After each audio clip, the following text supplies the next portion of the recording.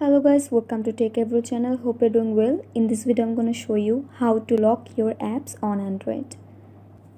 So guys let's continue and go to your mobile settings and swipe down until you see the option privacy and tap on it.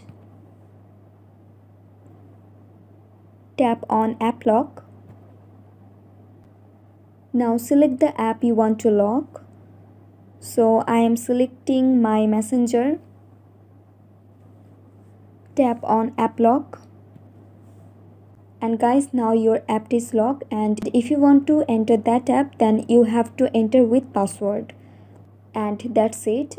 And that's how you can lock your apps. So guys i hope this video was helpful to you. If it was then please give a thumbs up and hit the subscribe button. And thanks for watching the video